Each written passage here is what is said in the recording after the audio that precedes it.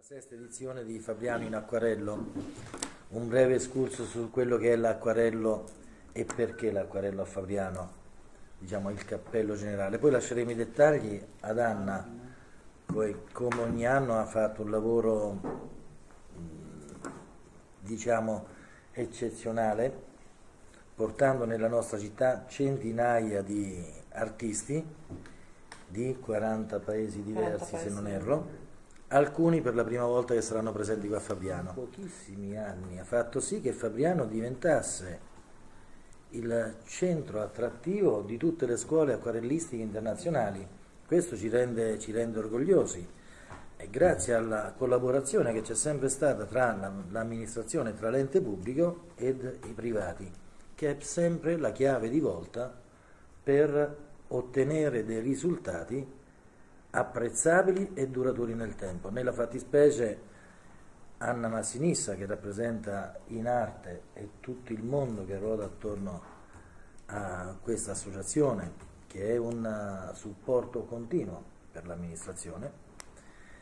questo supporto che trova esaltazione in questa manifestazione. La nostra città, già nota per la carta, ora diventa nota anche per questa particolare tecnica artistica, cioè per gli artisti che lavorano sull'acquarello, a cominciare da Pasquet, che è stato il primo nome che è venuto a Fabriano per arrivare a Pedro Cano,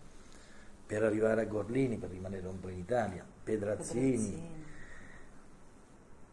e dicendo che ci sono 40 diversi paesi, significa che veramente questa città è diventata il centro attrattivo, il luogo di incontro per tutti coloro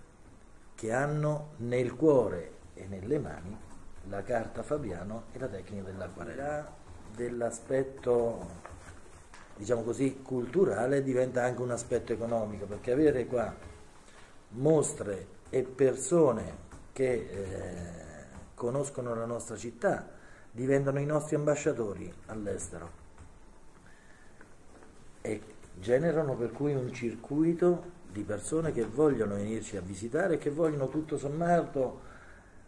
rendere eterni sulla carta gli scorci della nostra, della nostra città. Questi quattro giorni dimostra che non sono localizzate puntualizzate solo in un luogo, ma che coinvolgeranno diversi siti della nostra città, rendendo tangibile